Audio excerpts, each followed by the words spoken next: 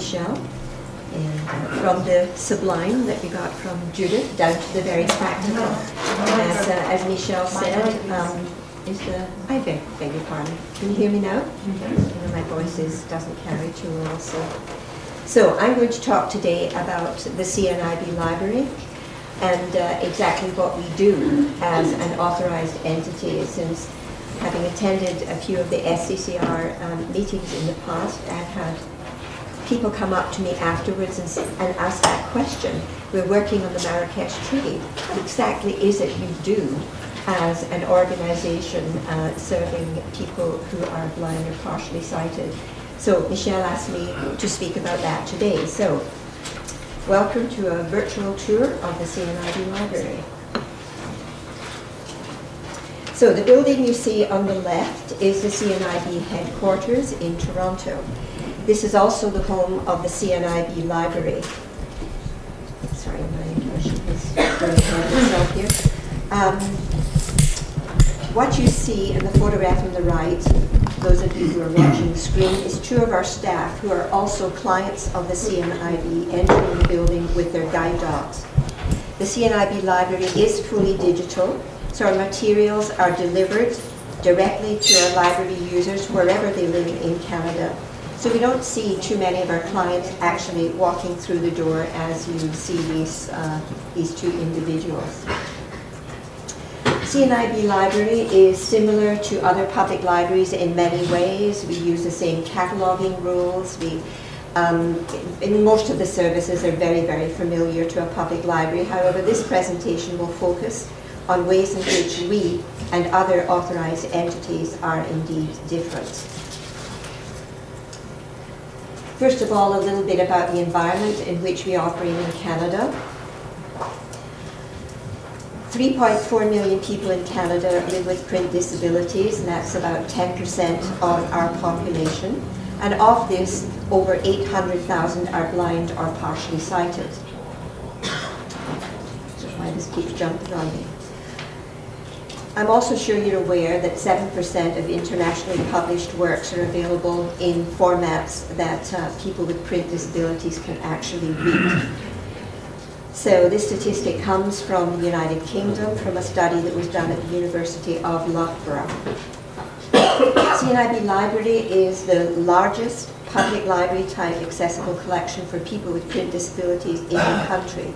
We have over 85,000 books in Braille, in e-Braille, in print Braille, e-text, DAISY, and online audio formats.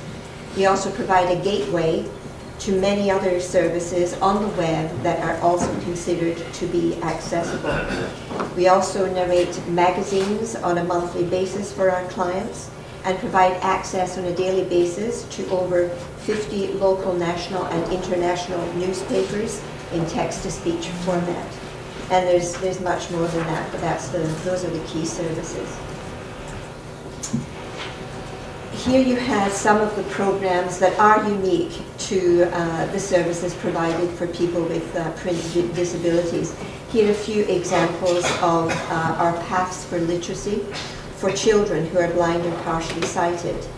Our Tactile for Tots Kids, for example, kit, for example, contains information for parents to help them read with the children and interpret tactile images. Our Braille Creative Writing Contest requires that kids write in Braille in order to enter.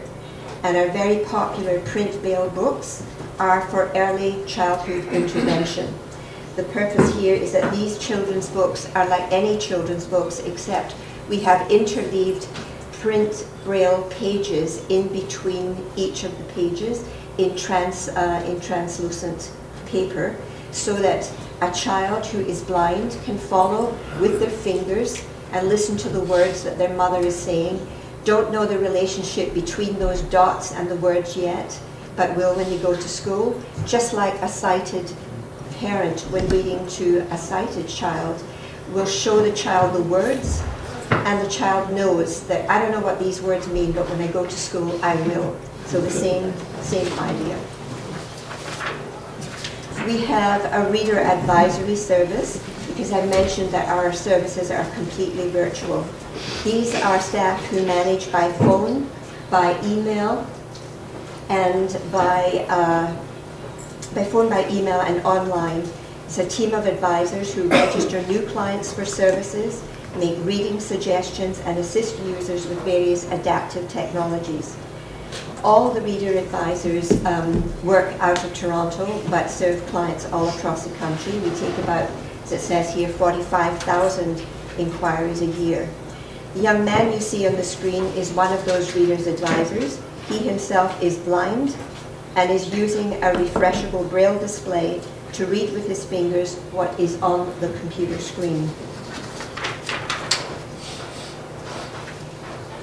Now a word about our uh, library's website, which is the online interface for our services.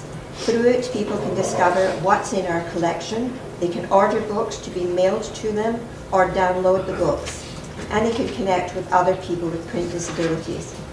The website was designed in collaboration with our users. It is accessible in that it meets the W3C standards for web accessibility, but more importantly, it is usable. Mainstream commercial online book services do go a long way to making their collections accessible, but in terms of usability, they still can present quite a challenge to navigate when you can't see the screen. Every function in our digital library website was tested with screen readers and magnifiers. Indeed, we tested over 1,000 permutations before we launched the website, and we still got lots of inquiries from our users about access challenges. A quick word about the usage of our services. Last year, we circulated 2.6 million books, magazines, and newspapers to people across the country. Our newspapers come in a format that is laid out especially for people using screen readers. And unlike major online editions of the paper that come with lots of advertisements and pictures, we strip out all the graphics, all the advertisements, so that people can navigate plain text versions of the paper by section, by article.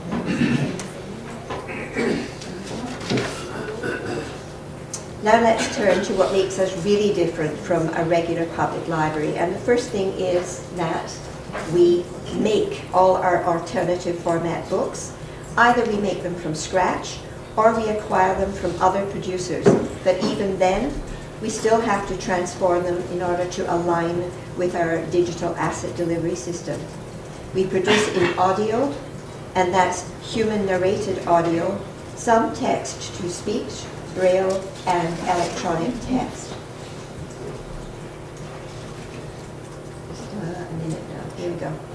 As I mentioned, all our formats are digital. Thus, the backbone of the whole operation is a digital repository, which holds our collection. Our repository currently has 188 terabytes of storage, but reassuringly, it is scalable. So as we get bigger, it can get bigger. And a lot of what I'm showing you today is really the forerunner of what a lot of public libraries will look like in the future. Those of us who are in um, the business of providing books for people with print disabilities have had to be in this business a lot faster than regular public libraries, but they're coming close behind us. So, this slide shows someone in front of a computer, and a lot of our slides do, but it is showing an operator in our e-publishing area. This particular op operator is partially sighted and is using ZoomText to signify or to significantly enlarge the font size. We start all production with an electronic file. Like any publisher, we want efficiencies. We want a master file that can be transformed into different formats. When you think of the print paradigm, the print publisher wants to create a master file once that supports a print book to be sold in stores or on Amazon, but also might want an Adobe edition and an e-book edition. We very, have very similar needs. We want a file that can be transformed into multiple accessible formats, such as Braille. Our hope is that EPUB, the EPUB 3 standard for publishing, which has DAISY navigation embedded, is gradually going to be incorporated by commercial publishers into their production stream, which will provide the opportunity for more content to be truly accessible at source from the publisher. And over time, this is expected to significantly impact the need for operations such as ours to produce quite as much as we have to do today. A word now about recording audiobooks. Here you see one of our 300 audio narrators and technicians in our recording studios. We record more than 600 new audiobooks every year, as well as the magazines I mentioned. Most of our users are in their senior, even senior, senior years, and they've read print all of their lives until losing their vision later in life due to macular degeneration, diabetes, or glaucoma. The easiest format for them to transform to is a narrated audiobook. Hence, it is the most popular format among our users. But an important part of our production and services is Braille. Here you see a picture of our shelves of embossed Braille books. And what the books look like themselves. In addition to Braille embossed on paper, we also produce e-Braille in our collection. E-Braille is read, as I mentioned, by a refreshable Braille display like the one you saw the reader advisor using. Braille is a low-use but a high-need medium for its users. These are usually people blind from an early age or birth. They have been educated in Braille, they go through school in Braille, and Braille leads to their higher education and their independence. They are almost a different market, to use this term, than a senior who becomes blind later in life. This is just a picture of our uh, Braille embossers. We emboss about 300 books in-house every year in addition to the Braille we acquire from other organizations for and of the blind. Today, these, these books are translated from an XML file into a Braille-ready file that goes through Braille transla translation software. The only human intervention that's required is to proofread the book to ensure its consistency with the print edition. Once the book is produced and ingested into a digital repository, they're available for clients. CD is still the most popular delivery medium, and on the screen if, I, if it can just stay on the screen, is one of our CD duplicator um, units. We have many of these in our system. On a nightly basis, we burn uh, CDs, probably about 4,000 of them a night. And in, in essence, one book is created and burned to a CD for mailing every six seconds. So it's a, it's a fairly um, sophisticated process. So the books are ready to go out, and again, we have an automated process to actually send them out the door. I mentioned we distribute about 4,000 CDs across Canada, free of charge under the Canada Post Literature for the Blind program. The CDs come back and go through an automated process where they, they go through a system. The, the, CDs are stacked in a hopper. We mechanically separate the CD from its envelope reads a barcode label, and our library system then knows that the client is, has returned the books and is eligible for more service. As you can see on the picture on the right, the hundreds of returned CDs, this is definitely the form of distribution that most of our clients prefer today. But CDs are reaching the end of their life cycle. So what's next? While we have a lot of clients who are independent computer users and can download from our system to iPhones, Androids, and computers.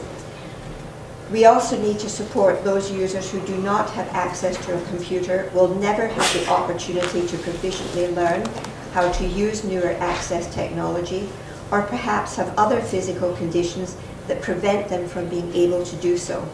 In other words, in our situation, about 90% of our users who take the CD service today. So how do we bring these users to, with us on the post in the post-CD era. The picture on the left shows two audio reading devices. They look the same as the reading devices that CD users use today to read their books. The difference is that these latest models are internet enabled.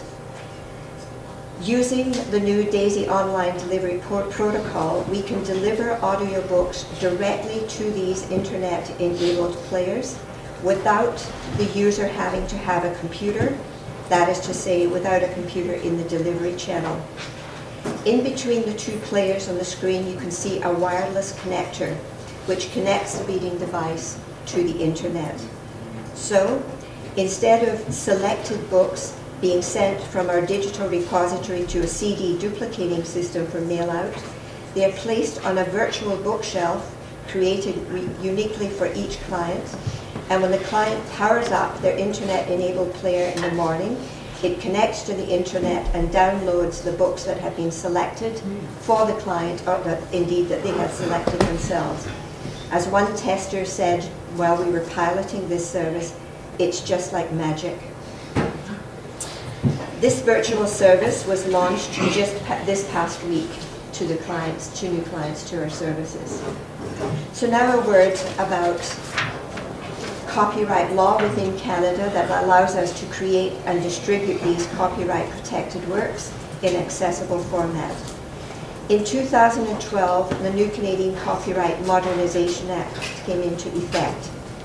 This allows anyone with a print disability as defined in the Act to take published work and convert it to an accessible format that meets their specific needs. But it also allows CNIB as a trusted intermediary, as we were referring to it at that time, to make those works, works accessible for our members. In neither case is the publisher's permission needed. The new Act contains certain clauses with respect to export and import which are new. These describe the conditions under which we can exchange alternative format works in an, to another country for the use of their people with print disabilities in that country, provided, one, that the author of the work is a citizen or a permanent resident either of Canada or the country to which the work is being sent, and that two, commercially available version of the work is not being marketed in the requesting country. With regard to import, the Act says that a copy made outside of Canada does not infringe the copyright law if, had it been made in Canada, it would have been made under a limitation or exception within the Act.